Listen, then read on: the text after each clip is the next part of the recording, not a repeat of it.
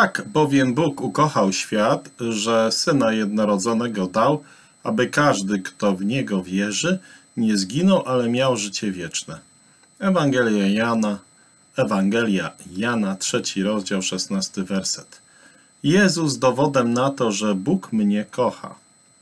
Pewna kobieta opowiadała o latach swojej młodości w ten sposób. W tamtych czasach chciałam poznać tego Boga, o którym mówi Biblia.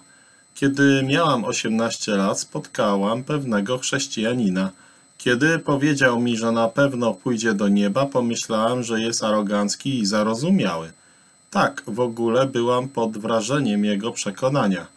Zaczęłam wtedy poważnie szukać Boga, postanowiłam czytać Biblię, mając nadzieję, że Bóg mi się w niej objawi.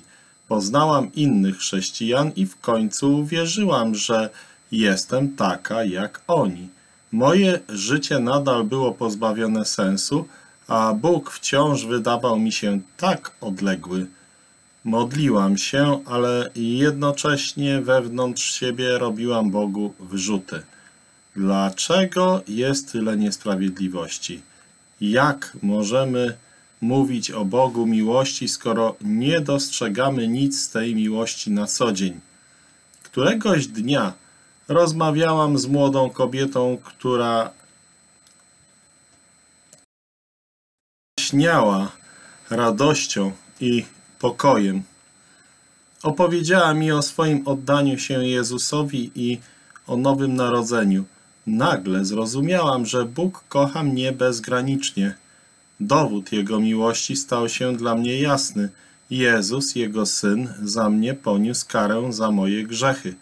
Dzięki tej wiedzy w moim sercu zagościł nieopisany wewnętrzny pokój, jakiego nigdy wcześniej nie doświadczyłam.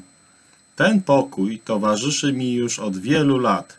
Nigdy mnie nie opuścił, mimo wielu rozczarowań i trudności. Moje spojrzenie na Boga całkowicie się zmieniło. Jestem pewna, że On mnie kocha. Dowód? Jest nim po prostu Jezus. On każdego dnia na nowo udowadnia swoją miłość do mnie. Ja też Go kocham i choć oczywiście moja miłość jest niedoskonała, chcę żyć dla Niego. Tyle opowiadanie tej kobiety.